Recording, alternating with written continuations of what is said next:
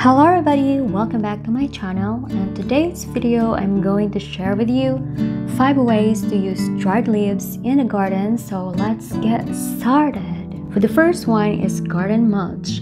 Dried leaves are garden gold and very versatile, cheap, economical and very organic and healthy way to use as mulch.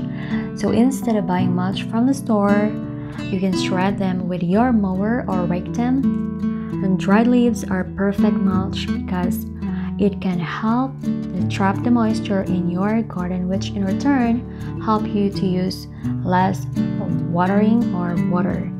And during the hot summer or season in garden beds or in-ground beds or even in container gardening, especially it evaporates and the water quickly, I highly recommend to uh, mulch them not only it protects your plant from um, water loss, it's also a great way to improve your soil.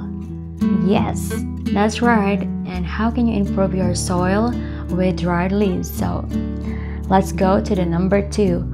So since dried leaves add bulk in your garden, to mulch or a ground cover, you can use dried leaves as leaf mold.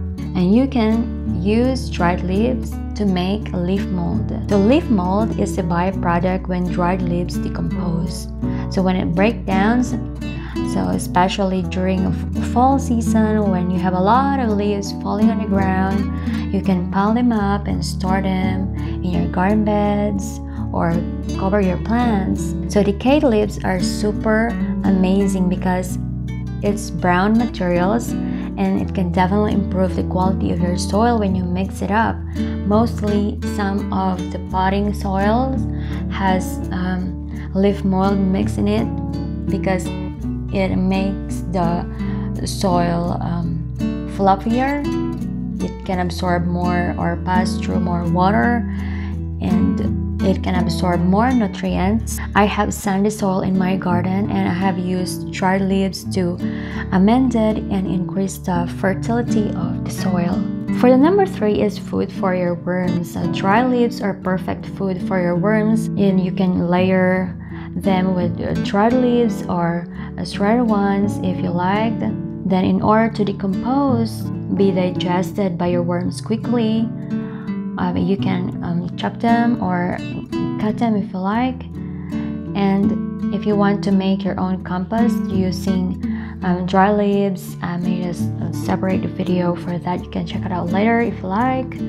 Earthworms or red wigglers love dry leaves, and and they are and they feel more at home uh, when you include um, dry leaves as their beddings or covers. So, so when you use the dry leaves for mulch and leaf mold around your plants or in your garden, you are helping your worms or composting worms as well. Worms doesn't like to thrive when it's really dry, too hot, so dried leaves are great and perfect because it acts as a cover for them and food as well. And if you take a look in the forest, you will observe that dry leaves from the, trees are amazing um, ground cover for both um, the trees and the underground um, creatures as well. For the number four is a garden pathway. So as you can see guys, the dried leaves can be very useful in the garden and it's an amazing garden pathway material and if your budget doesn't allow you to buy expensive garden pathway like rocks, look no farther, rake those leaves and use it as your garden pathway. I mainly use dried leaves as my pathway because during rainy days in my garden pathways is always muddy and I have lots of puddles so there's lots of waters there or stagnant water it can um, cause mosquito. So since dry leaves are excellent moisture absorbent, uh, there's cheap um, garden pathway, very ecological as well because it will decompose and unlike plastic that when it is exposed in the heat, you know, it can cook down and release those harmful um, chemicals through the soil. So leaves, I dried leaves especially, I highly recommend it because it will decompose uh, there on the soil and it's still very healthy and will add nutrients to your soil. Number five is weed control. So this is similar with mulching. So when I started my vegetable garden, I started with no dig because I don't have time so much to um, deal with weeds. So weed will um, compete with sun, water, nutrients from your garden. So what I do is cover um, areas, especially the pathways or around the plant, uh, to help minimize the spread. Since I do not use weed spray or chemicals, I believe it's not healthy for the garden. It can be harmful when you use um, chemicals because your plants will absorb it and then the wildlife will absorb it and your body will absorb it when you eat your food. So you can use dried leaves as weed control in your garden. And speaking of wildlife, for the number six, yes, there's are um, wildlife in your garden. So by being aware, like the predatory insects, the bugs, the beetles, the frogs, toads, the lizards, and tiny creatures that rely on the ground cover or the dry leaves as their home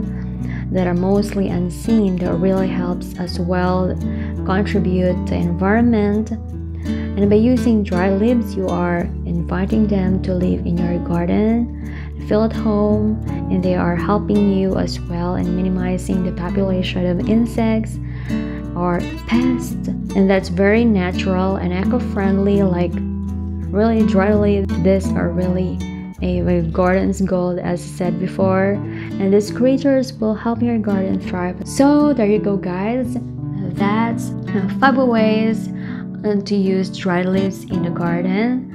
If you have any um, suggestion or any ways that you use dry leaves in your garden please comment down below how you have you used dry leaves before?